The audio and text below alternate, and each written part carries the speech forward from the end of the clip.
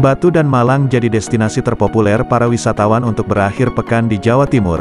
Keduanya punya kuliner dan alam yang menarik untuk dinikmati. Harganya pun relatif terjangkau, banyak yang di bawah 10 ribuan dan bahkan gratis. Sebagai bahan pertimbangan dan gambaran kamu yang ingin liburan ke Malang, inilah rekomendasi tempat wisata di Malang dan Batu yang paling favorit dan hits untuk dikunjungi.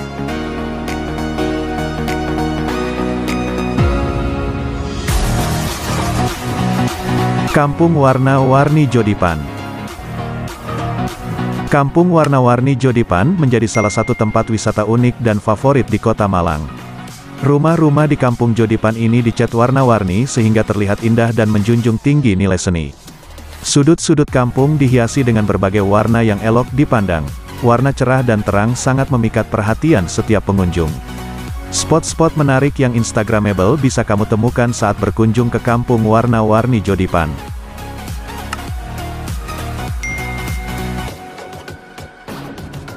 Hawaii Water Park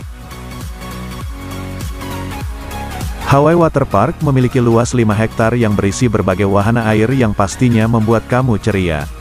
Memiliki 12 wahana air spektakuler yang dapat dinikmati oleh semua umur tanpa ada tambahan biaya lagi serta berbagai macam pilihan makanan dan minuman tersaji di seluruh area food court dan drink court di Hawaii Water Park. Pembeliannya menggunakan uang tunai dan debit untuk mempermudah dalam bertransaksi. Tak hanya wahana air, spot-spot foto juga dibangun di seluruh area Hawaii Water Park, dan semua itu dapat kamu nikmati secara gratis tanpa biaya tambahan, dan pengunjung juga dapat mencetak hasil foto di photo booth corner.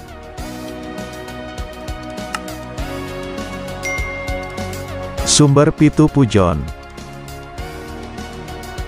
Disebut sebagai Koban Sumber Pitu karena air terjun Sumber Pitu memiliki tujuh air terjun yang saling berdekatan dan memenuhi tebing selebar kurang lebih 50 meter. Untuk menuju ke Koban Pitu kamu harus melewati jalanan tanah hutan pinus, hutan belantara, perbukitan hingga padang rumput ilalang di mana terdapat jurang yang cukup dalam di sana. Tapi tenang saja, dengan akses jalan yang kamu lewati, semua yang kamu temui selama perjalanan akan menjadi daya tarik tersendiri.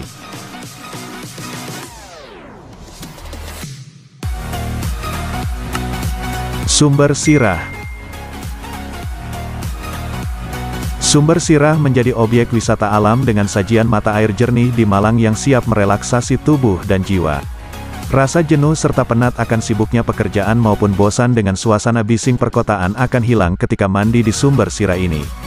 Mata air dengan sajian menyegarkan satu ini dijadikan destinasi wisata anti-mainstream di Malang.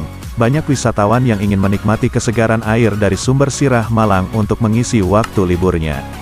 Selain itu sumber sirah Malang juga menawarkan spot instagenik untuk aktivitas menyelam dan hunting fotografi.